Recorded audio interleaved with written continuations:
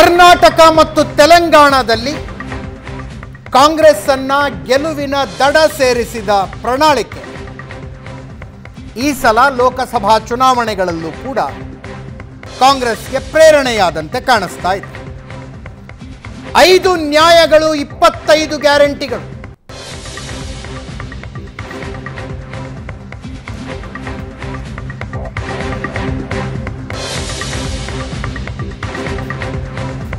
ಭರಪೂರ ಘೋಷಣೆಗಳಿದ್ದಾವೆ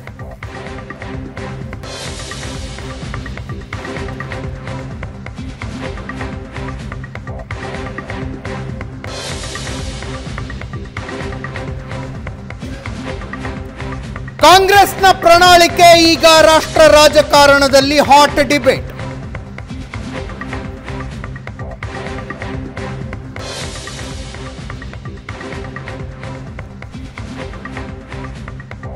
ದೇಶ ಒಡೆದ ಮುಸ್ಲಿಂ ಲೀಗ್ನ ಯೋಚನೆಯನ್ನ ಇದು ಬಿಂಬಿಸ್ತಾ ಇದೆ.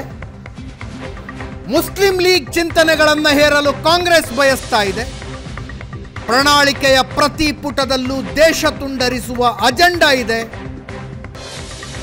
ಸುಳ್ಳುಗಳ ಕಂತೆಯನ್ನ ಮುಂದಿಟ್ಟು ತನ್ನ ಮುಖವಾಡವನ್ನ ಕಾಂಗ್ರೆಸ್ ತೋರಿಸ್ತಾ ಇದೆ ಅಂತ ಪ್ರಧಾನಿ ನರೇಂದ್ರ ಮೋದಿ ವಾಗ್ದಾಳಿ ಜನಸಂಘ ಮತ್ತು ಮುಸ್ಲಿಂ ಲೀಗ್ ಮೈತ್ರಿಯ ಇತಿಹಾಸನೇ ಮೋದಿ ಅವರಿಗೆ ಗೊತ್ತಿಲ್ಲ ಅಂತ ಕಾಂಗ್ರೆಸ್ ನಾಯಕ ಜೈರಾಮ್ ರಮೇಶ್ ಪ್ರತ್ಯುತ್ತರ ಕೊಟ್ಟಿದ್ದಾರೆ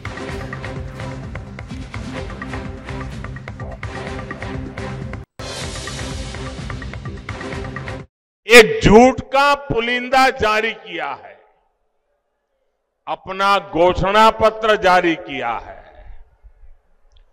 झूठ का ये पुलिंदा। कांग्रेस की एक बहुत बड़ी सच्चाई। कांग्रेस को बेनकाब करने वाला ये घोषणा पत्र है। आप देखिए, हर पन्ने पर भारत के टुकड़े करने की बू आ रही है। कांग्रेस के घोषणा पत्र में वही सोच झलकती है, जो सोच आज़ादी के समय मुस्लिम लीग में थी।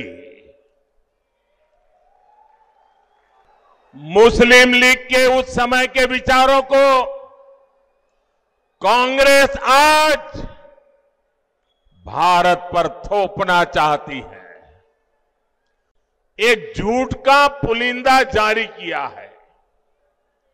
और आज प्रधानमंत्री कहते हैं कि कांग्रेस मुस्लिम लीग की नीति अपनाती है। मैं प्रधानमंत्री को याद दिला दूँ। प्रधानमंत्री जी इतिहास याद रखिए।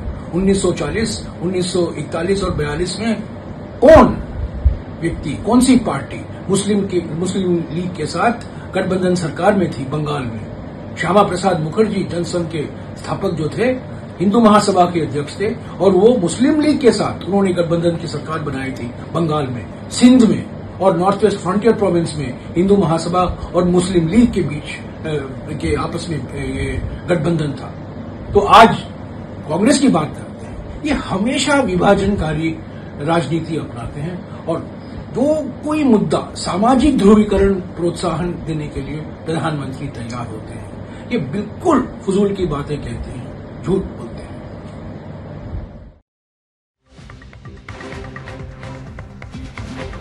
ಇದೇ ವಿಷಯದ ಬಗ್ಗೆ ಇವತ್ತು ಮಾತಾಡ್ತೀವಿ ಹಲವು ಜನ ಗಣ್ಯರು ನಮ್ಮ ಜೊತೆಗಿರ್ತಾರೆ ಹಿರಿಯ ಪತ್ರಕರ್ತರಾದ ರವೀಂದ್ರ ರೇಷ್ಮೆ ಅವರು ಯಾರ ಕಾರ್ಯಕ್ರಮಕ್ಕೆ ಸ್ವಾಗತ ರವೀಂದ್ರ ರೇಷ್ಮೆ ಅವರು ತಮಗೆ ರಮೇಶ್ ಬಾಬು ಅವರು ಕಾಂಗ್ರೆಸ್ನಿಂದ ದೇವರಾಜ್ ಅವರು ಜೆ ಡಿ ಎಸ್ನಿಂದ ಮತ್ತು ಮೋಹನ್ ವಿಶ್ವ ಬಿಜೆಪಿ ಇದ್ದಾರೆ ಮೂರು ಜನರು ಕಾರ್ಯಕ್ರಮಕ್ಕೆ ಸ್ವಾಗತ ಮೊದಲನೇ ಪ್ರತಿಕ್ರಿಯೆಯನ್ನು ರವೀಂದ್ರ ರೇಷ್ಮೆ ಅವರಿಂದ ತೆಗೆದುಕೊಳ್ತೀನಿ ಇದು ಐಡಿಯಾಲಜಿಕಲ್ ಚರ್ಚೆಗೆ ಹೋಗೋಣಂತೆ ಏನು ಮುಸ್ಲಿಂ ಲೀಗ್ ಯಾರು ಕ್ಲೋಸು ಯಾರು ದೂರವಾಗಿದ್ರು ಇತ್ಯಾದಿ ಇತ್ಯಾದಿ. ಒಟ್ಟಾರೆ ಕಾಂಗ್ರೆಸ್ನ ಪ್ರಣಾಳಿಕೆ ಏನು ಈ ನ್ಯಾಯಪತ್ರ ಅನ್ನೋ ಟೈಟಲ್ ಇರೋ ಪ್ರಣಾಳಿಕೆ ಅದರ ಸಿದ್ಧಾಂತ ಭಾಳ ಸ್ವಾರಸ್ಯಕರವಾಗಿದೆ.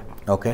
ಪಂಚನ್ಯಾಯ ಪಚ್ಚೀಸ್ ಗ್ಯಾರಂಟಿ ಅಂತಂದ್ಬಿಟ್ಟು ಐದು ನ್ಯಾಯ ಇಪ್ಪತ್ತೈದು ಐದು ನ್ಯಾಯ ಸೂತ್ರಗಳು ಇಪ್ಪತ್ತೈದು ಗ್ಯಾರಂಟಿಗಳು ಅಂತ. ನೋಡಿ ಸಾವಿರದ ಆರು ಒಂಬೈನೂರ ಅರವತ್ತೊಂಬತ್ತರಲ್ಲಿ ಇಂದಿರಾ ಗಾಂಧಿಯವರು ಬ್ಯಾಂಕ್ಗಳ ರಾಷ್ಟ್ರೀಕರಣ ಮಾಡಿದರು. ಎರಡು ಸಾವಿರದ ಇಪ್ಪತ್ನಾಲ್ಕರಲ್ಲಿ ಅವರು ಮೊಮ್ಮಗ ರಾಹುಲ್ ಗಾಂಧಿ ಕರ್ನಾಟಕದ ಐದು ಗ್ಯಾರಂಟಿ ಕಾರ್ಡ್ಗಳನ್ನು ರಾಷ್ಟ್ರೀಕರಣ ಮಾಡಿಬಿಟ್ಟಿದ್ದಾರೆ. ಕರ್ನಾಟಕದ ವಿಜಯದ ಸೂತ್ರಗಳು ಐ- ಪಂಚಸೂತ್ರಗಳು ಕರ್ನಾಟಕ ಗೆಲುವಿನ ಸೂತ್ರಗಳು ಐದು ಐದು ಇದ್ದಿದ್ದನ್ನು ಇಪ್ಪತ್ತೈದು ಮಾಡಿಬಿಟ್ಟು ಐದು ಪಟ್ಟು ಜಾಸ್ತಿ ಮಾಡಿಬಿಟ್ಟು ಸಕ್ಸಸ್ ಫಾರ್ಮುಲಾ ರಾಷ್ಟ್ರವ್ಯಾಪಿ ಆಯಾಮವನ್ನು ಕೊಟ್ಬಿಟ್ಟಿದ್ದಾರೆ. ಓಕೆ ಅಂದರೆ ಎರಡು ಸಾವಿರದ ಹದಿನಾಲ್ಕರಲ್ಲಿ ಗುಜರಾತ್ ಮಾಡಲ್ನ ಸಬ್ಕಾ ಸಾಥ್ ಸಬ್ಕಾ ವಿಕಾಸ್ ಘೋಷಣೆ ಇತ್ತು.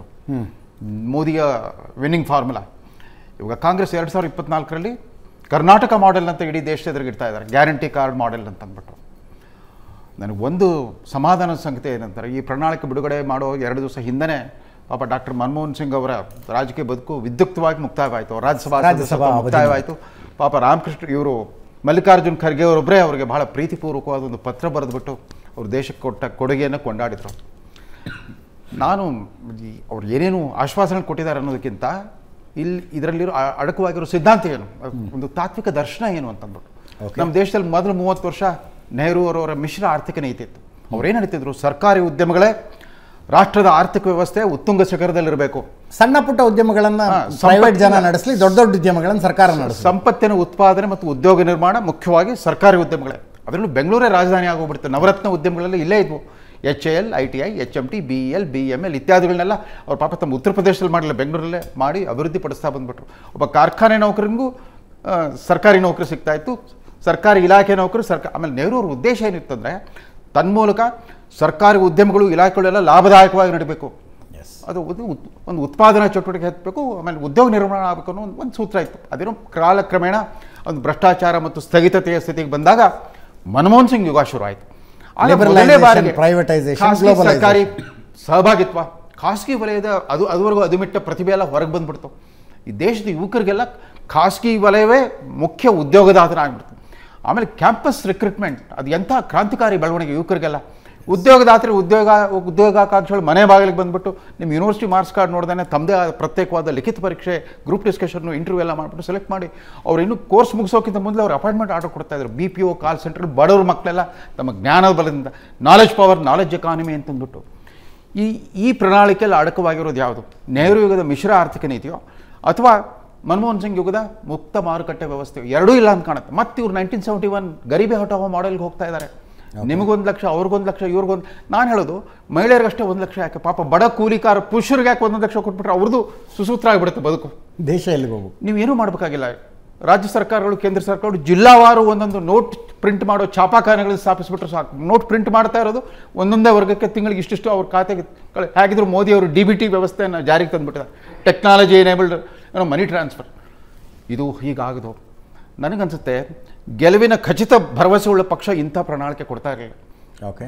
ಅವ್ರ ಗೆಲುವಿನ ಸಾಧ್ಯತೆ ಕಡಿಮೆ ಆದಷ್ಟು ಹತಾಶರಾಗಿ ಹತಾಶರಾಗಿ ಇನ್ನಷ್ಟು ಉದಾರತೆ ಒಂದು ಧಾರಾಳತನವನ್ನು ತೋರ್ತಾ ಬರ್ತಾ ಇದ್ದಾರೆ ಓಕೆ. ಕರ್ನಾಟಕದಲ್ಲಿ ಬರೀ ಇಪ್ಪತ್ನಾಲ್ಕು ಸಾವಿರ ಕೊಡ್ತಾ ಇದ್ರು. ವರ್ಷಕ್ಕೆ ಇಲ್ಲ ಇಲ್ಲ ಇನ್ಮೇಲೆ ಒಂದೊಂದು ಲಕ್ಷ ಕೊಡ್ತೀವಿ ಅಂತ. ದೇಶದಲ್ಲಿ ಒಂದು ಇಪ್ಪತ್ತೈದು ಬಡ ಕುಟುಂಬ ಇಪ್ಪತ್ತೈದು ಕೋಟಿ ಬಡ ಕುಟುಂಬಗಳಿದ್ದರೆ ಅದು ಒಂದೇ ಬಾಬತ್ತಿಗೆ ವರ್ಷಕ್ಕೆ ಇಪ್ಪತ್ತೈದು ಲಕ್ಷ ಕೋಟಿ ತರಬೇಕಾಗುತ್ತೆ. ಒಂದು ಐದು ಕೋಟಿ ಜನ ಪದವೀಧರರು ಮತ್ತು ಡಿಪ್ಲೊಮಾದಾರರಿಗೆ ಅವ್ರಿಗೂ ಒಂದೊಂದು ಲಕ್ಷ ಕೊಡ್ತೀವಿ ಅಂತಾರೆ. ಅದಕ್ಕೊಂದು ಐದು ಲಕ್ಷ ಕೋಟಿ ತರಬೇಕಾಗುತ್ತೆ. ಇವತ್ತಿನ ಎನ್ ಡಿ ಎ ಸರ್ಕಾರದ ಇತ್ತೀಚಿನ ಬಜೆಟಿನ ಒಟ್ಟು ಗಾತ್ರವೇ ನಲವತ್ತೇಳು ಲಕ್ಷ ಕೋಟಿ. ಪಾಪ ಇವರು ವಿರೋಧ ಪಕ್ಷದಲ್ಲಿ ಇದ್ರು ಕೂಡ ಇವರು ಅಕೌಂಟ್ ಓಟನ್ ಅಕೌಂಟ್ ಪಾಸ್ ಮಾಡಿದಾರಲ್ಲ ಪಾರ್ಲಿಮೆಂಟ್ನಲ್ಲಿ ತಮ್ಮ ಆಕ್ಷೇಪಗಳು ಏನೇ ಇದ್ರು ಕೂಡ ಓಟನ್ ಅಕೌಂಟ್ ಪಾ ಅವ್ರಿಗೆ ಗೊತ್ತಿದೆ ರಾಷ್ಟ್ರದ ಆರ್ಥಿಕ ಶಕ್ತಿ ಎಷ್ಟಿದೆ ಅಂತ. ಅದನ್ನು ಗಣನೆಗೆ ತಗೊಳ್ದಾನೆ ಎಲ್ರಿಗೂ ಈ ಥರ ಧಾರಾಳತನ ತೋರ್ಬಿಟ್ರೆ ಸರ್ಕಾರ ಧರ್ಮಛತ್ರ ಹಾಕ್ಕೊಡೋದು.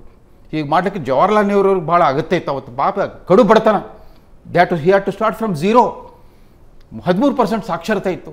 ಆಮೇಲೆ ಖಾಸಗಿ ಉದ್ಯಮದಾರರಲ್ಲಿ ಕೂಡ ದೇಶ ಕಟ್ಟೋಷ್ಟು ಶಕ್ತಿ ಇರಲಿಲ್ಲ ಅವರಲ್ಲಿ. ಒಂದೊಂದು ರಾಷ್ಟ್ರದಿಂದ ಸಾಲ ಪಡ್ಕೊಂಬತ್ತು ಒಂದೊಂದು ಐ ಐ ಟಿಗಳ ಸ್ಥಾಪನೆ ಮಾಡಿ, ಐದು ಐ ಐ ಟಿಗಳ ಸ್ಥಾಪ ಮೊದಲ ಸಾಲಿನ ಐ ಐ ಟಿ ಸ್ಥಾಪನೆಗೆ ಸಾಲ ಪಡ್, ಸಾಲ ಮಾಡಿ ಸಾಲ ಮಾಡಿ. ರಷ್ಯಾದಿಂದ, ಅಮೇರಿಕದಿಂದ, ಕೆನಡಾದಿಂದ, ಜರ್ಮನಿಯಿಂದ ಒಂದೊಂದೇ ಒಂದು ಸ್ಥಾಪನೆ ಮಾಡುವಂಥ ಸ್ಥಿತಿ ಇತ್ತು. ಇವತ್ತು ಬದಲಾಗಿದೆ. ಭಾರತ ಬದಲಾಗಿರೋದು ಇವ್ರಿಗೆ ಗೊತ್ತಾಗ್ತಾ ಇಲ್ವಾ? ಎರಡೂ ಪಾದಯಾತ್ರೆಗಳಲ್ಲಿ ಅವರು ಬಿಡಿ ಚಿಂತನೆಗಳು ಏನು ಬಿತ್ತರಿಸ್ತಾ ಬಂದರು ರಾಹುಲ್ ಗಾಂಧಿ, ಅದರ ಅಕ್ಷರ ರೂಪವೇ ಈ ಪಂಚನಾಯ್ ಪಚ್ಚಿಸ್ ಗ್ಯಾರಂಟಿ ಅನ್ನೋ ಪ್ರಣಾಳಿಕೆ ಅಂತ ನನಗೆ ನಾನು ನಾನು ಬಿಜೆಪಿ ಅವ್ರದ್ದು ನಾನು ಮೋದಿ ಅವರ ಆಕ್ಷೇಪದ ಬಗ್ಗೆ ಈಗ ಮಾತಾಡ್ತಾ ಇಲ್ಲ. ಅದು ಮುಸ್ಲಿಂ ಲೀಗ್ ವಿಷಯಕ್ಕೆ ಆಮೇಲೆ ಬರೋಣ ಆ ವಿಷಯಕ್ಕೆ ಆಮೇಲೆ ಬರೋಣ. ನಾನು ಮೊದಲು ಬಿ ಬಿಜೆಪಿ ಅವ್ರದ್ದು ಜೆ ಡಿ ಎಸ್ ರಿಯಾಕ್ಷನ್ ತಗೊಂಡ್ಮೇಲೆ ಕಾಂಗ್ರೆಸ್ ಕೊನೆಗೆ ಅನ್ಕೊಂಡಿದ್ದೆ ಬಟ್ ಮೊದಲಿಗೆ ಕಾಂಗ್ರೆಸ್ ತಗೊಳ್ತೀನಿ. ರವೀಂದ್ರ ರೇಷ್ಮೆ ಅವರ ಕಳಕಳಿ. ದೇಶ ಎಲ್ಲಿಗೆ ಹೋಗಿ ನಿಲ್ಲುತ್ತೆ? ಮತ್ತು ಅವರೊಂದು ಒಂದು ಒಂದು ಮಾತನ್ನು ಹೇಳಿದ್ರು. ಗೆಲ್ತೀವಿ ಅನ್ನುವ ಭರವಸೆ ಇರುವ ಯಾವ ಪಕ್ಷವೂ ಇಂಥದ್ದೊಂದು ಪ್ರಣಾಳಿಕೆಯನ್ನು ಕೊಡೋದಿಲ್ಲ ಅಂತ. ರವೀಂದ್ರ ರೇಷ್ಮೆರವರು ಕರ್ನಾಟಕ ಕಂಡಂತಹ ಲಂಕೇಶ್ ಪತ್ರಿಕೆ ಬಳಗದ ಸಮಾಜವಾದಿ ಹಿನ್ನೆಲೆಯ ಒಬ್ಬ ಪತ್ರಕರ್ತರು. ಅವರಿಂದ ಈ ಉತ್ತರ ನಾನು ನಿರೀಕ್ಷೆ ಮಾಡಿರಲಿಲ್ಲ. ಯಾಕೆಂದರೆ ಎಂಬತ್ತರ ದಶಕದಲ್ಲಿ ಕರ್ನಾಟಕದ ಪ್ರಾಕ್ಟಿಕಲ್ ಇರ್ತಾರೆ. ಅಲ್ಲ. ಎಂಬತ್ತರ ದಶಕದಲ್ಲಿ ಸಮಾಜವಾದದ ಹಿನ್ನೆಲೆಯಲ್ಲಿ ರಾಜ್ಯ ಸರ್ಕಾರ ಏನೇನು ಮಾಡಬೇಕು ಅಂತ ಮಾರ್ಗದರ್ಶನ ಮಾಡ್ತಿದ್ದವರೇ ಇವರು. ಅವರ ಹೇಳಿಕೆಲ್ಲ ಗೊಂದಲ ಇಟ್ಕೊಂಡಿದ್ದಾರೆ. ಅವರೇ ಹೇಳಿದ್ರು ಎರಡನ್ನೂ ಅವರೇ ಹೇಳಿದ್ರು. ಎರಡಲ್ಲ ಹಲವಾರು ವಿಷಯಗಳು ಪ್ರಸ್ತಾಪ ಮಾಡಿದ್ರು. ಸ್ವತಂತ್ರ ಬಂದ ಸಂದರ್ಭದಲ್ಲಿ ಹದಿಮೂರು ಪರ್ಸೆಂಟು ನಮಗೆ ಸಾಕ್ಷರತೆ ಇದ್ದಿದ್ದಂತೇಳಿ. ಇನ್ನೊಂದನ್ನು ಭಾಳ ಪ್ರಮುಖವಾಗಿ ನಾನು ಹೇಳೋದಕ್ಕೆ ಇಷ್ಟಪಡ್ತೀನಿ. ನೆಹರೂರವರು ಈ ದೇಶದ ಪ್ರಧಾನಿ ಆದಂಥ ಸಂದರ್ಭದಲ್ಲಿ ಕೇಂದ್ರ ಸರ್ಕಾರದ ಒಟ್ಟಾರೆ ಬಜೆಟ್ ಗಾತ್ರ ನೂರ ತೊಂಬತ್ತೇಳು ಕೋಟಿ. ಓಕೆ. ಇವತ್ತು ನಲವತ್ತೈದು ಲಕ್ಷ ಕೋಟಿ. ಅದಕ್ಕೆ ಅವರು ಮನಮೋಹನ್ ಸಿಂಗ್ ಹೆಸರನ್ನು ಪ್ರಸ್ತಾಪ ಮಾಡೋರು ಈಸ್ ದ ರೂಟ್ ಕಾಸ್. ಅಂದರೆ ನಾವೇನು ಸಮಾಜವಾದದ ಹಿನ್ನೆಲೆಯಲ್ಲಿ ಖಾಸಗೀಕರಣಕ್ಕೆ ಕೆಲವು ರಿಸರ್ವೇಷನ್ ಇಟ್ಕೊಂಡಿದ್ದು ಕಾಂಗ್ರೆಸ್ ಪಕ್ಷ. ಅದಕ್ಕೆ ವ್ಯತಿರಿಕ್ತವಾಗಿ ಮನಮೋಹನ್ ಸಿಂಗ್ರವರು ಹಲವಾರು ಬೇರೆ ಬೇರೆ ಕ್ರಮಗಳನ್ನ ಕೈಗೊಂಡರು. ಇವತ್ತು ಅದರ ಫಲ ಭಾರತಕ್ಕೆ ಸಿಗ್ತಾ ಇದೆ. ಅದು ಒಂದು ಕಡೆ. ಎರಡನೇದು ಅವರು ಇಂದಿರಾ ಗಾಂಧಿ ಹೆಸರನ್ನ ಪ್ರಸ್ತಾಪ ಮಾಡಿದ್ರು. ನೋಡಿ ಕಾಂಗ್ರೆಸ್ ಪಾರ್ಟಿ ಯಾವತ್ತೂ ಸಹ ಒಂದು ಬದ್ಧತೆ ಇಟ್ಕೊಂಡು ಕೆಲಸ ಮಾಡಿರ್ತಕ್ಕಂಥದ್ದು. ನೀವು ಈಗ ಪೂಜಾರಿ ಜನಾರ್ದನ್ ಪೂಜಾರಿರವರ ಬ್ಯಾಂಕ್ ಸಾಲ. ಅದು ನಮ್ಮ ಯೋಜನೆ ಇರಲಿಲ್ಲ. ಅಧಿಕಾರ ಇದ್ದಾಗ ಮಾಡಿದಂಥದ್ದು. ಓಕೆ. ದೇವರಾಜರ್ಸ್ರವರು ಮತ್ತು ಬಿಹಾರದಲ್ಲಿ ಕರ್ಪೂರಿ ಠಾಕರ್ ಅವರು ಉಳುವವನಿಗೆ ಭೂಮಿ. ಅದು ಕಾಂಗ್ರೆಸ್ ಪಾರ್ಟಿ ಮ್ಯಾನಿಫೆಸ್ಟೋದಲ್ಲಿ ಕೊಟ್ಟಂಥ ಕಾರ್ಯಕ್ರಮ ಅಲ್ಲ. ಸೊ ಆಯಾ ಕನ್, ಸಂದರ್ಭಕ್ಕೆ ಜನಕಲ್ಯಾಣದ ಹಿನ್ನೆಲೆಯಲ್ಲಿ ಜನರಿಗೆ ಏನು ಬೇಕು ಅನ್ನೋ ಹಿನ್ನೆಲೆಯಲ್ಲಿ ಮಾಡಿದಂಥ ಕಾರ್ಯಕ್ರಮಗಳು. ಇವತ್ತು ಬದಲಾಗಿರ್ತಕ್ಕಂಥ ರಾಜಕೀಯ ಸಂದರ್ಭದಲ್ಲಿ ನಾವು ಗ್ಯಾರಂಟಿ ಕೊಟ್ಟಿದ್ದೀವಿ. ರವೀಂದ್ರ ಅವರೆಲ್ಲ ಹೇಳಿದ್ರು ಬಿ ಜೆ ಪಿ ಯಾಕೆ ಗ್ಯಾರಂಟಿ ಕದ್ದು, ಈಗ ಗ್ಯಾರಂಟಿ ಪದ ಬಳಕೆ ಮಾಡ್ಕೊತವ್ರೆ ಯಾಕೆ ಗ್ಯಾರಂಟಿ ಕೂಡ, ಕೊಟ್ಟಿದ್ದಾರೆ ಅನ್ನೋ ಮಾತನ್ನು ಅವ್ರು ಹೇಳಿಲ್ಲ. ಅಲ್ಲಿ ಜಾಣ್ಮೆ ಪ್ರದರ್ಶನ ಮಾಡ್ತಾರೆ. ಇವತ್ತು ಇಡೀ ದೇಶದಲ್ಲಿ ಕಾಂಗ್ರೆಸ್ ಪಕ್ಷದ ಕರ್ನಾಟಕದ ಮಾಡೆಲ್ಲನ್ನು ಇಡೀ ದೇಶದಲ್ಲಿ ಎಲ್ಲ ಪಕ್ಷಗಳು ಕಾಪಿ ಮಾಡಿಕೊಟ್ಟಿದ್ದಾವೆ ಇನ್ಕ್ಲೂಡಿಂಗ್ ಬಿ ಜೆ ಪಿ ಮುಂಚೆ ಇದುವರೆಗೂ ಕರ್ನಾಟಕದಲ್ಲಿ ಪಂಚ ಗ್ಯಾರಂಟಿ, ಐದು ಗ್ಯಾರಂಟಿ ಕೊಡೋವರೆಗೂ ಇದ್ದಂಥ ಪರಿಸ್ಥಿತಿ ಏನು? ಗುಜರಾತ್ ಮಾಡಲು ಗುಜರಾತ್ ಮಾಡಲು. ಇವತ್ತು ಇಡೀ ದೇಶದಲ್ಲಿ ಚರ್ಚೆ ಆಗ್ತಾ ಇರ್ತಕ್ಕಂಥದ್ದೇನು? ಕರ್ನಾಟಕ ಮಾಡಲ್ಲು ಅಫ್ಕೋರ್ಸ್ ಏನಕ್ಕೆ ದಿವಾಳಿ ಆಗುತ್ತೆ? ನೀವು ಯಾರೋ ಕಾರ್ಪೊರೇಟ್ ಸೆಕ್ಟರ್ ಅವರು ಲಕ್ಷಾಂತರ ಕೋಟಿ ನೀವು ಅವರು ಬಿಟ್ಟು ಅವ್ರಿಗೆ ವೇ ಆಫ್ ಮಾಡೋಂಥ ಸಂದರ್ಭ ಬಂದಾಗ ನಿಮಗೆ ಬಜೆಟು ದಿವಾಳಿ ಆಗಲ್ಲ. ಜನಪರವಾಗಿ ಜನರಿಗೆ ಆರ್ಥಿಕ ಶಕ್ತಿಯನ್ನು ತುಂಬಬೇಕು ಕೊಳ್ಳುವಂಥ ಶಕ್ತಿ ಜಾಸ್ತಿ ಆಗಬೇಕು. ಆರ್ಥಿಕ ನೀತಿಗೆ ಅನುಗುಣವಾಗಿ ಅವ್ರ ಕಾರ್ಯಕ್ರಮ ಕೊಡಬೇಕಂದ್ರೆ ಸರ್ಕಾರ ದಿವಾಳಿ ಆಗಿಬಿಡುತ್ತೆ ಬಜೆಟ್ ದಿವಾಳಿ ಆಗಿಬಿಡುತ್ತೆ. ಇದು ಎಲ್ಲೋ ವ್ಯವಸ್ಥಿತವಾಗಿ ಬಡ ಜನರನ್ನು ಅವ್ರಿಗಿರ್ತಕ್ಕಂಥ ಅವಕಾಶಗಳನ್ನ ಕಿತ್ಕೊಳ್ಳುವಂಥ ಪ್ರಯತ್ನ. ಇವತ್ತು ಭಾಳಷ್ಟು ನಾವು ಕಾಂಗ್ರೆಸ್ ಮಹಾಲಕ್ಷ್ಮಿ ಯೋಜನೆಯಡಿ ಬಡ ಮಹಿಳೆಯರಿಗೆ ವರ್ಷಕ್ಕೆ ಒಂದು ಲಕ್ಷ. ಎಸ್ ಎಷ್ಟು ಜನ ಮಹಿಳೆಯರನ್ನ ನಾನು ಬರ್ತೀನಿ ನಾನು ಬರ್ತೀನಿ. ಇವತ್ತು ಕರ್ನಾಟಕದಲ್ಲಿ ಕಾರ್ಯಕ್ರಮ ಐದು ಗ್ಯಾರಂಟಿ ಕೊಟ್ಟಂಥ ಸಂದರ್ಭದಲ್ಲಿ ಇಂಥದೇ ಚರ್ಚೆ ಆಯಿತು. ಇವತ್ತು ಇಡೀ ಮಾಧ್ಯಮದಲ್ಲಿ ಕಾಂಗ್ರೆಸ್ ಪಾರ್ಟಿ ಬಿಟ್ಟುಬಿಡಿ ಮಾಧ್ಯಮದಲ್ಲಿ ಏನು ಚರ್ಚೆ ಆಗ್ತಾ ಇದೆ? ಇವತ್ತು ಶಕ್ತಿ ಯೋಜನೆಯ ಮುಖಾಂತರ ಹಣ ಚಲಾವಣೆ ಜಾಸ್ತಿ ಆಗಿದೆ. ದೇವರ ದೇವಾಲಯಗಳಿಗೆ ಭೇಟಿ ಕೊಡುವಂಥ ಜಾಸ್ತಿ ಆಗಿದೆ, ವ್ಯಾಪಾರಗಳು ಜಾಸ್ತಿ ಆಗಿದೆ ಪರ್ಚೇಸಿಂಗ್ ಪವರ್ ಜಾಸ್ತಿ ಆಗಿದೆ. ನಾಟ್ ಓನ್ಲಿ ಶಕ್ತಿ, ನೀವು ಗೃಹಲಕ್ಷ್ಮಿನೂ ಕಾರಣ. ಈಗ ತಾವು ಒಂದು ಲಕ್ಷ ರೂಪಾಯಿ ನಾವೇನೊಂದು ಘೋಷಣೆ ಮಾಡಿದ್ವಿ, ಅದನ್ನು ಹೇಳ್ತಾ ಇದ್ದೀರಾ? ನನಗೆ ಖುಷಿ ಅನಿಸುತ್ತೆ, ಯಾಕೆಂದರೆ ಕರ್ನಾಟಕದಲ್ಲಿ ಘೋಷಣೆ ಮಾಡಿ ಫಲಾನುಭವಿಗಳು ಯಾರು ಹೆಣ್ಮಕ್ಳಿಗೆ ಇವಾಗ ಗೃಹಲಕ್ಷ್ಮಿ ಮುಖಾಂತರ ಖಾತೆಗೆ ಹಣ ಹೋಗಿದೆ. ನ್ಯಾಚುರಲಿ ದೇ ಫೀಲ್ ಹೌದು, ಕರ್ನಾಟಕದಲ್ಲಿ ಕಾಂಗ್ರೆಸ್ ಹೇಳದಂತೆ ನಡ್ಕೊಂಡು ನಮ್ಮ ಖಾತೆಗೆ ಹಣ ಬರ್ತಾ ಇದೆ. ಕೇಂದ್ರದಲ್ಲಿ ಕಾಂಗ್ರೆಸ್ ಸರ್ಕಾರ ಬಂದರೆ ಅಥವಾ ಇಂಡಿಯಾ ಅಲಿಯನ್ಸ್ ಅಧಿಕಾರ ರ- ರಮೇಶ್ ಬಾಬು ಒಂದು ಲಕ್ಷ ಖಂಡಿತ ಬರುತ್ತೆ. ನಾವು ಇಮೋಷನ್ಸ್ ಅಲ್ಲ ಎಕನಾಮಿಕ್ಸ್ ಮಾತಾಡ್ತಿದ್ದೀವಿ. ಖಂಡಿತ. ಇಮೋಷನ್ಸ್ ಅಲ್ಲ ಎಕನಾಮಿಕ್ಸ್ ಡೆಫಿನೆಟ್ಲಿ ಕರ್ನಾಟಕದಲ್ಲಿ ಬಡ ಮಹಿಳೆಯರಿಗೆ ತಿಂಗಳಿಗೆ ಎರಡು ಸಾವಿರ ಕೊಟ್ಟರೆ ಒಂದು ವರ್ಷಕ್ಕೆ ಇಪ್ಪತ್ನಾಲ್ಕು ಸಾವಿರ ಆಯಿತು. ನೀವು ಮಾತನಾಡ್ತಾ ಇರೋದು ಒಂದು ಲಕ್ಷ ಕೊಡುವ ಬಗ್ಗೆ. ನಾಲ್ಕು ಪಟ್ಟು ಜಾಸ್ತಿ. ಅದು ಬರೀ ಕರ್ನಾಟಕದಲ್ಲಲ್ಲ ದೇಶದಾದ್ಯಂತ. ಕರ್ನಾಟಕ ದೇಶದಲ್ಲಿ. ಒಂದು ಕೋಟಿ ಹದಿನೇಳು ಲಕ್ಷ ಮಹಿಳೆಯರಿಗೆ ಕೊಡ್ತಾ ಇದ್ದಾರೆ. ಅಲ್ಲಲ್ಲ ಒಂದೇ ನಿಮಿಷ ನಾನು ಬರ್ತೀನಿ. ಈಗ ನೀವು ಲಂಕೇಶ್ ಅವ್ರ ಜೊತೆಗಿದ್ದವ್ರನ್ನ ನೀವು ಹಿಂಗೆ ಮಾತಾಡಕ್ಕಾರ ಹೆಂಗೆ ಸಾಧ್ಯ ಅನ್ನೋ ಪ್ರಶ್ನೆ ಎತ್ತಿದ್ದಾರೆ ಈಗ ರವೀಂದ್ರ ರೇಷ್ಮೆ ಅವರು ಇನ್ನೊಂದು ಅಂಕಿಅಂಶನೂ ಅಲ್ಲ. ಕೊಟ್ಬಿಟ್ರು. ಅಲ್ಲ ಅಲ್ಲ ಒಂದು ಕೋಟಿ ಹದಿನೇಳು ಲಕ್ಷ ಮಹಿಳೆಯರಿಗೆ ಕರ್ನಾಟಕದಲ್ಲಿ ಈ ಅನುಕೂಲ ಆಗ್ತಾ ಇದೆ ಅಂತೇಳಿ. ನಾನು ಇದೇ ಮಾಧ್ಯಮದಲ್ಲಿ ಚರ್ಚೆ ಮಾಡಿದ್ದೇನೆ. ಗೃಹಲಕ್ಷ್ಮಿ ಒಂದೇ ಅಲ್ಲ ಇವತ್ತು ಕರ್ನಾಟಕದಲ್ಲಿ ನೀವು ಗೃಹಲಕ್ಷ್ಮಿ ಇರ್ಬೋದು ಅನ್ನಭಾಗ್ಯ ಇರ್ಬೋದು ವಿದ್ಯುತ್ ಉಚಿತ ವಿದ್ಯುತ್ ಇರ್ಬೋದು ಅಥವಾ ಶಕ್ತಿ ಯೋಜನೆ ಇರ್ಬೋದು ಮತ್ತು ಯುವನಿಧಿ ಇರ್ಬೋದು ಈ ಒಟ್ಟಾರೆ ಕಾರ್ಯಕ್ರಮದಿಂದ ಪ್ರತಿ ಕುಟುಂಬಕ್ಕೆ ವರ್ಷಕ್ಕೆ ಐವತ್ತರಿಂದ ಅರವತ್ತು ಸಾವಿರ ರೂಪಾಯಿ ಲಾಭ ಆಗ್ತಾ ಇದೆ. ನೀವು ಒಂದು ಲಕ್ಷ ಈಗ ಏನು ಕೇಂದ್ರ ಸರ್ಕಾರ ಹೇಳ್ತಾ ಇದ್ದೀರಾ? ಕರ್ನಾಟಕ ರಾಜ್ಯ ಸರ್ಕಾರ ಇವತ್ತು ಏನು ಘೋಷಣೆ ಮಾಡಿದೆ? ಇವೆಲ್ಲ ಕಾರ್ಯಕ್ರಮದ ಐದು ಇದ್ರದ್ದು- ಕಾರ್ಯಕ್ರಮದ ಮುಖಾಂತರ ಬರೀ ಇಪ್ಪತ್ನಾಲ್ಕು ಲಕ್ಷ ಇಪ್ಪತ್ನಾಲ್ಕು ಸಾವಿರ ಹೇಳಿದ್ರೆ ನೀವು. ಐ ಆಮ್ ವೆರಿ ಶ್ಯೂರ್ ಇಪ್ಪತ್ನಾಲ್ಕು ಸಾವಿರ ಅಲ್ಲ. ಪ್ರತಿ ಕುಟುಂಬಕ್ಕೆ ಕರ್ನಾಟಕದಲ್ಲಿ. ಸರ್ ನಾನು ಡೈರೆಕ್ಟ್ ಡೈರೆಕ್ಟ್ ಫಂಡ್ ಟ್ರಾನ್ಸ್ಫರ್ ಬಗ್ಗೆ ಹೇಳ್ತಾ ಇದ್ದೀನಿ. ಎರಡು ಸಾವಿರ ಒಬ್ಬ ಹೆಣ್ಮಗಳಿಗೆ ಪ್ರತಿ ತಿಂಗಳು ಹಾಕಿದ್ರೆ ವರ್ಷಕ್ಕೆ ಇಪ್ಪತ್ನಾಲ್ಕು ಸಾವಿರ ಆಯಿತು. ನೀವು ಒಬ್ಬ ಹೆಣ್ಮಗಳಿಗೆ ಒಂದು ವರ್ಷಕ್ಕೆ ಒಂದು ಲಕ್ಷ ಹೌದು. ಅದ್ರದ್ದೊಂಚೂರು ಎಕನಾಮಿಕ್ಸ್ ಎಕ್ಸ್ಪ್ಲೇನ್ ಇಲ್ಲ, ನಾನು ಅದನ್ನೇ ನಿಮ್ಗೆ ಹೇಳ್ತಾ ಇರ್ತಕ್ಕಂಥದ್ದು. ಕರ್ನಾಟಕದಲ್ಲಿ ನಾವು ಕೊಟ್ಟಿರೋ ಕಾರ್ಯಕ್ರಮಕ್ಕೆ ಪ್ರತಿ ಕುಟುಂಬಕ್ಕೆ ಐವತ್ತರಿಂದ ಅರವತ್ತು ಸಾವಿರ ರೂಪಾಯಿ ಹೋಗ್ತಾ ಇದೆ. ತಾವೇನೀಗ ಒಂದು ಲಕ್ಷ ರೂಪಾಯಿ ಮಹಿಳೆಯರಿಗೆ ಎಷ್ಟಾಗುತ್ತೆ ಅಂತ ಕೇಳ್ತಿದ್ದೀರಾ? ಅದಕ್ಕೆ ಪೂರ್ವಕವಾಗಿನ ನಾವು ಪ್ಯಾರಾಮೀಟರ್ಸ್ ಅನೌನ್ಸ್ ಮಾಡಿಲ್ಲ. ಈಗ ಗೃಹಲಕ್ಷ್ಮಿ ಮನೆಯ ಯಜಮಾನಿ ಎಲ್ಲ ಇನ್ನು ಇಬ್ಬರು ಹೆಣ್ಮಕ್ಳಿದ್ರೆ ಇಬ್ಬರು ಹೆಣ್ಮಕ್ಳಿಗೆ ಹೋಗೋದಿಲ್ಲ. ಓಕೆ. ಆ ಥರ ಇದು ಒಂದು ಲಕ್ಷದ್ದು ಈಗ ಅದಕ್ಕೆ ಮುಂದುವರೆದಂಥದ್ದು ಮಾಹಿತಿಯನ್ನು ಕೊಡ್ತಾರೆ. ಇಡೀ ದೇಶದಲ್ಲಿ ಯಾರಿದ್ದಾರೆ ಒಂದು ಲಕ್ಷ ಮಹಿಳೆ ಕುಟುಂಬದ ಯಜಮಾನಿಗೆ ಹೋಗುತ್ತೋ ಅಥವಾ ಪ್ರತಿ ಮಹಿಳೆಗೆ ಹೋಗುತ್ತೋ ಅನ್ನೋದು ಇನ್ನೂ ಕ್ಲಾರಿಟಿ ಬಂದಿಲ್ಲ ಅಲ್ಲಿ. ಅಫ್ಕೋರ್ಸ್ ನನಗೂ ಅದ್ರ ಮಾಹಿತಿ ಬರಬೇಕಾಗಿದೆ. ಇವತ್ತಿರ್ತಕ್ಕಂಥದ್ದು ಏನು ನೀವು ಸಾಲ ಮನ್ನಾ ಮಾಡಬೇಕಾದ್ರೆ ದೊಡ್ಡ ದೊಡ್ಡ ಕೈಗಾರಿಕೆಗಳಿಗೆ ಕೈಗಾರಿಕೋದ್ಯಮಗಳಿಗೆ ಯಾರೋ ದೇಶ ಬಿಟ್ಟು ಹೋದಂಥವ್ರಿಗೆ ಏನು ವೇ ಆಫ್ ಮಾಡಿದ್ದೀರಾ? ಅದಕ್ಕೆ ಕಂಪೇರ್ ಮಾಡಿದ್ರೆ ಇವತ್ತು ನಾವೇನು ಕಾರ್ಯಕ್ರಮಗಳು ಕೊಟ್ಟಿದ್ದೇವೆ. ಇದು ಒಟ್ಟಾರೆ ಇದು ವಿತಿನ್ ದ ಫ್ರೇಮ್ ಯಾವುದು ಸಹ ಬಜೆಟ್ ಬಿಟ್ಟು ಆಚೆ ಹೋಗುವಂಥದ್ದು ಅಥವಾ ಕಾರ್ಯಕ್ರಮಗಳನ್ನ ವಂಚನೆ ಮಾಡೋಂಥದ್ದಲ್ಲ ಇದು ಮುಂಚೆಯಿಂದಲೂ ಕೊಟ್ಕೊಂಡು ಬಂದಿರತಕ್ಕಂಥ ಕಾರ್ಯಕ್ರಮಗಳು. ಇವತ್ತು ಅಧಿಕೃತವಾಗಿ ಘೋಷಣೆ ಮಾಡ್ತಾ ಇದ್ದೀವಿ ಈ ಕಾರ್ಯಕ್ರಮದ ಓಟ್ಗೋಸ್ಕರ ಮಾಡೋದಲ್ಲ. It is a commitment of Congress party Congress ಪಾರ್ಟಿಯ ಬದ್ಧತೆ ಅದು. ಓಟ್ ಬರುತ್ತೆ ಅಂತ ನಾವು ಈಗ ಅದಕ್ಕೂ ರಿಯಾಕ್ಷನ್ ತಗೊಳ್ತೀನಿ. ಗೆಲ್ಲುವ ಭರವಸೆ ಇರುವಂಥವ್ರು ಇಂಥ ಪ್ರಣಾಳಿಕೆ ಕೊಡಕ್ಕೆ ಸಾಧ್ಯ ಇಲ್ಲ ಅಂದ್ರೆ ಅದಕ್ಕೂ ತಮ್ಮ ರಿಯಾಕ್ಷನ್ ತಗೊಳ್ತೀನಿ ಮೋಹನ್. ಅಜಿತ್ ನೋಡಿ ಈ ಕಾಂಗ್ರೆಸ್ ಪ್ರಣಾಳಿಕೆ ನೋಡಿದ್ರೆ ನನಗೆ ಒಂದು ಮಾರ್ಕೆಟಿಂಗ್ ಬ್ರೋಷರ್ ಥರ ಕಾಣಿಸ್ತಾ ಇದೆ ಇದು. ಇದು ಪ್ರಾಕ್ಟಿಕಲ್ ಆಗಿ ಒಂದು ಇಷ್ಟು ವರ್ಷಗಳ ಕಾಲ ಇವರು ನಾವು ಸ್ವತಂತ್ರದಲ್ಲೆಲ್ಲ ಹೋರಾಟ ಮಾಡ್ಕೊಂಬಂದ್ವಿ ಅಂದ್ಕೊಂಡು ನೂರು ನಲ್ವತ್ತು ವರ್ಷದ ಇತಿಹಾಸ ಕಟ್ತಾರಲ್ಲ ಅವರು ಅಷ್ಟು ವರ್ಷ ಇತಿಹಾಸ ಇರೋವಂಥ ಪಕ್ಷ ಪ್ರಿಪೇರ್ ಮಾಡೋವಂಥ ಪ್ರಣಾಳಿಕೆ ಅಂತೂ ನಿಜವಾಗ್ಲೂ ಅಲ್ಲ ಇದು. ನೀವು ಗೃಹಲಕ್ಷ್ಮಿ ಬಗ್ಗೆ, ಮಹಾಲಕ್ಷ್ಮಿ ಬಗ್ಗೆ ಮಾತಾಡಿ, ಒಂದು ಲಕ್ಷ. ಅಜಿತ್ ಈ ದೇಶದಲ್ಲಿ ಹತ್ತತ್ರ ಎಂಬತ್ತು ಕೋಟಿ ಫ್ಯಾಮಿಲೀಸ್ ಇದೆ ಅಂದಾಜು. ಈ ಫ್ಯಾಮಿಲೀಸ್ ಅಲ್ಲ. ಎಂಬತ್ತು ಕೋಟಿ ಸಾರಿ ಜನಸಂಖ್ಯೆ ಇದೆ ಅಂತ ಅನ್ಕೊಳ್ಳೋಣ. ಅಡಲ್ಟ್ ಜನರೇಷನ್ ಅಡಲ್ಟ್ ಜನರೇಷನ್ ಇರೋ ಅಂತ ನಾನು ಹೇಳ್ತಿರೋದು. ಇವರು ಯೂತ್ಸು ಮಕ್ಕಳನ್ನೆಲ್ಲ ಬಿಟ್ಬಿಟ್ಟು. ಯಾಕಂದ್ರೆ ನಾವು ಈ ಏನು ಹೇಳ್ತಾರೆ ಅದಕ್ಕೆ ಕೇಂದ್ರದಿಂದ ಕೊಡ್ತಿರುವಂಥ ಕೊಡ್ತಿರುವಂತ ಪಡಿತರದಲ್ಲಿ ಅದ್ ಅದಕ್ಕೆ ಲೆಕ್ಕ ಇದೆ. ಎಂಬತ್ತು ಕೋಟಿ ಕುಟ್ಟು ಇದಕ್ಕೆ ಕೊಟ್ಟಿರೋದು ಅಂತ ಹೇಳಿ ಒಂದು ಕೋಟಿ ಜನಕ್ಕೆ. ಎಂಬತ್ತು ಕೋಟಿ ಜನ ಆಯ್ತು ಎಂಬತ್ತು ಕೋಟಿ ಜನಕ್ಕೆ ಇಟ್ಕೊಂಡ್ರೆ ನೀವು ಒಂದು ಕುಟುಂಬಕ್ಕೆ ನೀವು ಹತ್ತತ್ರ ನೀವು ಐ ನಾಲ್ಕು ಜನ ಅಂತ ಇಟ್ಕೊಂಡ್ರು ನೋಡಿ ನಿಮ್ಗೆ. ಇಪ್ಪತ್ತು ಕೋಟಿ ಕುಟುಂಬಗಳಾಯ್ತು. ಇಪ್ಪತ್ತು ಕೋಟಿ ಕುಟುಂಬಗಳಿಗೆ ನೀವು ಒಂದು ಲಕ್ಷ ಒಂದೊಂದು ಕುಟುಂಬಕ್ಕೆ ಒಂದೇ ಮಹಿಳೆಗೆ. ನಾನು ಹೇಳ್ತಿರೋದು ಮಹಿಳೆಯಲ್ಲಿ ನಾಲ್ಕು ಜನ ಇದ್ರೆ ಒಂದೇ ಮಹಿಳೆನೇ ಕೊಡ್ತೀನಿ ಅಂತ ಅವರು ಹೇಳಿದ್ದು. ಸೊ ನಿಮ್ಗೆ ಇಪ್ಪತ್ತು ಕೋಟಿ ಕುಟುಂಬಕ್ಕೆ ಒಂದು ಲಕ್ಷ ಒಂದು ಕುಟುಂಬ ಇಪ್ಪತ್ತು ಲಕ್ಷ ಕೋಟಿ. ಇವತ್ತು ಭಾರತದ ಬಡ್ಜೆಟ್ ನಲವತ್ತೇಳು ಲಕ್ಷ ಕೋಟಿ. ಇವು ನಲವತ್ತೇಳು ಲಕ್ಷ ಕೋಟಿನಲ್ಲಿ ಇಪ್ಪತ್ತು ಲಕ್ಷ ಕೋಟಿ ಇದೊಂದೇ ಸ್ಕೀಮಿಗೆ ಬೇಕು. ತಿರ್ಗಾ thirty thirty five percent salary administration cost ಹೋಗುತ್ತೆ. ಮತ್ತೆ ಎಲ್ಲಿಂದ ತರ್ತೀರಾ ದುಡ್ಡು? ಇದನ್ನೇ ಏನು ಇಂಪ್ರಾಕ್ಟಿಕಲ್ ವಿಧಾನಸಭಾ ಎಲೆಕ್ಷನ್ ಹೆಂಗೆ ಮಾತಾಡಿದ್ರಿ? ವಿಧಾನಸಭಾ ಹೆಂಗೆ ಮಾತಾಡಿದ್ರಿ? ಎರಡ್ ಸಾವಿರ ದುಡ್ಡು ಕೊಡಕ್ಕಾಗಲ್ಲ ಕರೆಂಟ್ ಫ್ರೀ ಕೊಡಕ್ಕಾಗದಿಲ್ಲ ತೋರಿಸಿದ್ರಲ್ಲ. ಅಜಿತ್ ಅವರೇ ಲೆಕ್ಕ ಕೊಟ್ರಲ್ಲ ಹದಿನೇಳು ಸಾವಿರ ಕೋಟಿ ಖರ್ಚಾಗಿದೆ ಅಂತ ಹೇಳ್ಬಿಟ್ಟು. ತಿಂಗಳಿಗೆ ಎರಡ್ ಸಾವಿರದಲ್ಲಿ. ಏನ್ ಎಂಟರ್ ಹನ್ನೆರಡು ತಿಂಗಳು ಕೊಟ್ಟಿದ್ದಾರೆ ಅವ್ರು ಅನೌನ್ಸ್ ಮಾಡಿದೆ ಲೇಟ್ ಆಗಿ ಅನೌನ್ಸ್ ಮಾಡಿದ್ದವರು. ನೆಕ್ಸ್ಟ್ ಕೇಳಿಸ್ಕೊಳ್ಳಿ. ಆಮೇಲೆ one lakh rupees per apprentice stipend in public sector undertaking training ಅಲ್ಲಿ ಅಂತ ಹೇಳ್ತಾರೆ. ಆಯ್ತಲ್ಲ? ಗ್ರಾಜುಯೇಟ್ಸ್ಗೆ ಅಪ್ರೆಂಟಿಸ್ಗೆ ಎಲ್ಲರಿಗೂ ಅಂತ ಹೇಳ್ಬಿಟ್ಟು ರಾಜ್ಯದಲ್ಲಿ ಇವ್ರು ಇವನಿದೆ ಅಂತ ಒಂದು ಸ್ಕೀಮ್ ತಂದ್ರು. ಆ ಸ್ಕೀಮ್ ಎಷ್ಟು ಅಟ್ಟರ್ ಫ್ಲಾಪು ಅಂತಂದ್ರೆ ಕಳೆದ ವರ್ಷ ಗ್ರಾಜ್ಯುಯೇಟ್ ಆಗಿರೋದು ಇವ್ರ ಸ್ಕೀಮ್ ಪ್ರಕಾರನೇ ಐದು ಲಕ್ಷದ ಇಪ್ಪತ್ತೆಂಟು ಸಾವಿರ ಜನ. ಅದರಲ್ಲಿ ಮಾರ್ಕ್ಸ್ ಕಾರ್ಡು ಡಾಕ್ಯುಮೆಂಟ್ಸ್ ಎಲ್ಲ ಬಂದು ಎಲಿಜಿಬಿಲಿಟಿ ಇರೋರು ಒಂದು ನಾಲ್ಕು ಮುಕ್ಕಾಲು ಲಕ್ಷ ಜನ ಇದ್ದಾರೆ ಅದರಲ್ಲಿ ಅಪ್ಲಿಕೇಶನ್ಸ್ ಹಾಕಿರೋರು ಬರೀ ಎಂಬತ್ತೈದು ಸಾವಿರ ಜನ. ಎಂಬತ್ತೈದು ಸಾವಿರ ಜನದಲ್ಲಿ ಯುವನಿಧಿ ಸಿಕ್ಕಿರೋದು ಬರೀ ಮೂರುವರೆ ಸಾವಿರ ಜನಕ್ಕೆ. ಅಂದ್ರೆ ಐದು ಕಾಲ್ ಲಕ್ಷ ಗ್ರಾಜುಯೇಟ್ಸ್ ಅಲ್ಲಿ ಬರೀ ಮೂರುವರೆ ಸಾವಿರ ಜನ ಕೊಟ್ಟಿದ್ದಾರೆ ಇವರು. ಇವರು ಮೂರುವರೆ ಸಾವಿರ ಜನ ಕೊಟ್ಟಿರೋ ಹಣಕ್ಕಿಂತ ಎರಡು ಮೂರರಷ್ಟು ಖರ್ಚು ಅದರ ಅಡ್ವರ್ಟೈಸ್ಮೆಂಟ್ ಮೇಲೆ ಮಾಡಿದ್ದಾರೆ ಇವರು.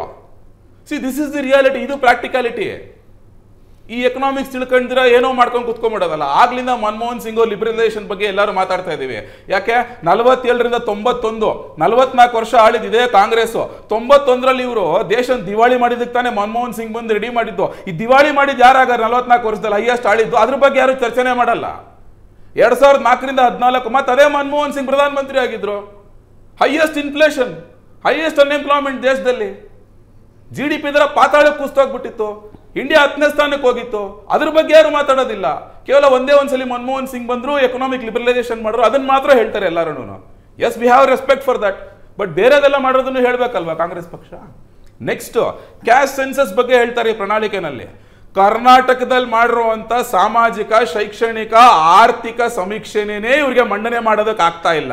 ಇವ್ರದೇ ಪಕ್ಷ D K Shivakumar Shamanur Shivashankarappa, M B Patil ಇವ್ರುಗಳೇ oppose ಮಾಡ್ತಾ ಇದಾರೆ, ಅದನ್ನ ರಿಲೀಸ್ ಮಾಡಬೇಡಿ ಅಂತ ಹೇಳ್ಬಿಟ್ಟು. ಅಷ್ಟು ಅವೈಜ್ಞಾನಿಕವಾಗಿ ಅಷ್ಟು ಕೆಟ್ಟದಾಗಿ ಮಾಡಿದ್ದಾರೆ. ಇನ್ ಇವರು ಇಡೀ ದೇಶದಲ್ಲಿ ಜಾತಿ ಗಣತಿ ಮಾಡೋಕ್ಕಾಗತ್ತಾ? ಕರ್ನಾಟಕದಲ್ಲಿ ಮಾಡದೇ ಇರೋರು?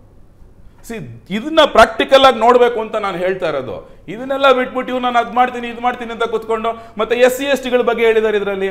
ಅವ್ರಿಗೆ ಬೇಕಾಗಿರುವಂಥ ಫಂಡ್ಸ್ಗೆ ಗ್ಯಾರಂಟಿ ಕಾನೂನು ತರ್ತೀನಿ ಅಂತ ಹೇಳಿದ್ದಾರೆ ಇದೇ ರಾಜ್ಯದಲ್ಲಿ ಹದಿನಾಲ್ಕು ಸಾವಿರ ಕೋಟಿ ಹೋದ ವರ್ಷ ಹನ್ನೊಂದು ಸಾವಿರ ಕೋಟಿ ಸಾರಿ ಹನ್ನೊಂದು ಸಾವಿರ ಕೋಟಿ ಹೋದ ವರ್ಷ ಹದಿನಾಲ್ಕು ಸಾವಿರ ಕೋಟಿ ಈ ವರ್ಷ. ಇಪ್ಪತ್ತೈದು ಸಾವಿರ ಕೋಟಿ ಎಸ್ ಸಿ ಎಸ್ ಟಿ ಫಂಡ್ನ ಗ್ಯಾರಂಟೀಸ್ ಡೈವರ್ಟ್ ಮಾಡೋದು ಇವರು. ಇವರೇ ಆಡಳಿತ ಇರೋ ರಾಜ್ಯದಲ್ಲಿ ಇವರೇ ಡೈವರ್ಟ್ ಮಾಡ್ಕೊಂಡ್ಬಿಟ್ಟು ದೇಶಕ್ಕೆ ನಾನು ಗ್ಯಾರಂಟಿ ಕೊಡ್ತೀನಿ ಅಂತ ಹೇಳ್ತಾರೆ. ಸಿ ಇದನ್ನ ಡಬಲ್ ಸ್ಟ್ಯಾಂಡರ್ಡ್ ಅಂತ ಹೇಳೋದು. ಇಲ್ಲಿ ನಡ್ಕೊಳ್ಳೋದು ಒಂದು ರೀತಿ ಮಾಡೋದು ಒಂದು ರೀತಿ. ಇವ್ರು ಏನು ನಡ್ಕೊಳ್ತಾರೋ ಆ ರೀತಿ ಮಾಡಲ್ಲ. ನಾನು ಅದಕ್ಕೆ ಆಗಲೇ ಹೇಳ್ದಂಗೆ ಇದು ಪ್ರಣಾಳಿಕೆ ಅಲ್ಲ ಇದು. ಇದು ಒಂದು ಮಾರ್ಕೆಟಿಂಗ್ ಕಂಪ್ನಿ ಒಂದು ಯಾವುದೋ ಪ್ರಾಡಕ್ಟ್ ಒಂದು ಸೇಲ್ ಮಾಡೋದಕ್ಕೆ ಒಂದು ಬ್ರಷ್ ರೆಡಿ ಮಾಡ್ತಾರೆ. ಗೊತ್ತಾ? ಹಂಗೆ ರೆಡಿ ಮಾಡ್ದಂಗಿದೆ ಇದ್ರಲ್ಲಿ.